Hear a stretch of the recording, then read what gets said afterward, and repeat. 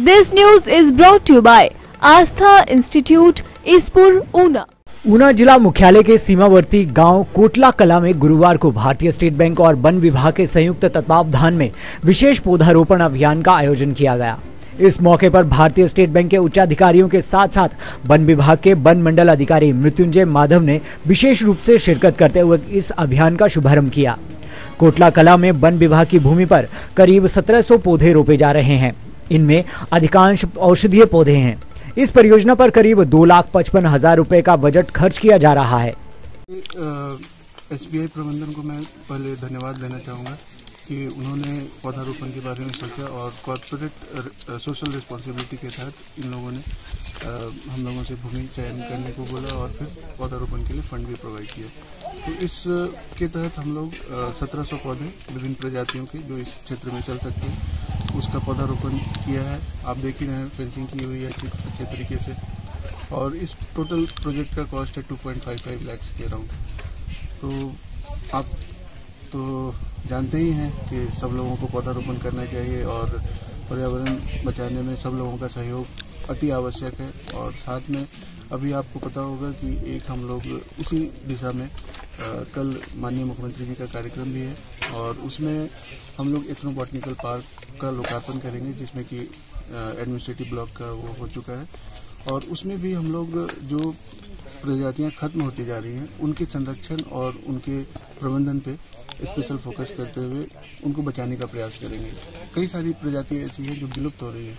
हम लोग मोनोकल्चर की तरफ़ बढ़ रहे हैं तो इसको हम लोग अरेस्ट करने के लिए और जितना ज़्यादा डाइवर्सिटी हो सकता है उसको हम लोग प्रमोट करेंगे। सर अक्सर देखा जाता है ऊपर तो किस तरह के कदम जो है वो उठाए जाएँगे बाद में मेंटेनेंस का होता है चूँकि इंटेंसिव एफॉरेस्टेशन करने के लिए इरिगेशन एक बहुत बड़ा कंपोनेंट है। तो हम लोग चूँकि एरिया काफ़ी ज़्यादा है पच्चीस हज़ार हेक्टेयर के आसपास हम लोगों के पास एरिया है। तो इंटेंसिव इरिगेशन पॉसिबल नहीं है इतने बड़े एरिया में, काफ़ी लागत आएगा। तो तभी हम लोगों का कई सारा ऐसा एरिया है जिसमें कि 90 टू 95 परसेंट सर्वाइवल भी है। ग्रेडिंग की समस्या तो हर एक जगह रहती है तो थोड़ा लोकल लोगों का मैं प्रधान जी आए हुए हैं, इनसे थोड़ा आग्रह करूँगा कि इस क्षेत्र में जो मवेशी हैं, उनको ना छोड़ा जाए। थोड़ा सा खुद ध्यान रखें। तो ऐसे जब समाज एक साथ सब लोग मिल के चलेंगे तो अच्छा रिज़ल्ट आएगा।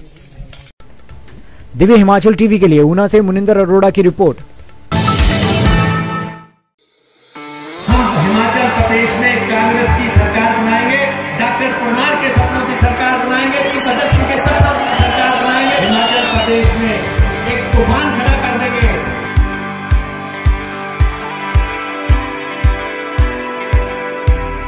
उम्मीद का सूरज है तू ये अंधेरा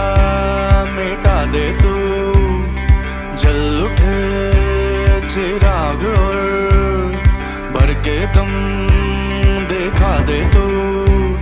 उम्मीद का सूरज है तू, ये तमस मिटा दे तू। चल उठे चिराग और भर के दम दिखा दे तू। कस कमर को ज़ोर से, अब तुझे निकलना है।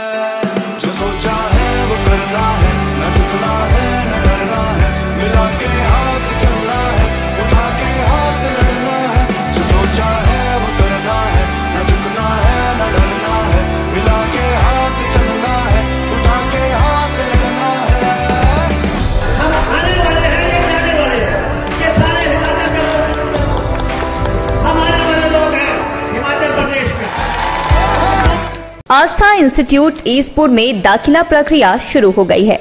आस्था इंस्टीट्यूट के चेयरमैन आर एस राणा ने बताया कि हमारा इंस्टीट्यूट राष्ट्रीय लघु उद्योग निगम सूक्ष्म, लघु मध्यम उद्यम मंत्रालय, भारत सरकार द्वारा मान्यता प्राप्त इंस्टीट्यूट है। इंस्टीट्यूट पिछले बारह वर्षों से बच्चों का भविष्य उज्जवल कर रहा है। इंस्टीट्यूट में 11 ट्रेड चलाए जा रहे हैं, जिसमें fashion designing, hotel management, beautician, computer software computer hardware and networking electrician fitter AC and refrigeration diesel mechanic plumbing advance fashion design trade चलाए जाते हैं। इंस्टीट्यूट में दसवीं, बारहवीं पास विद्यार्थी कोई भी दाखिला ले सकते हैं। दाखिला पहले आओ, पहले पाओ के आधार पर दिया जाएगा।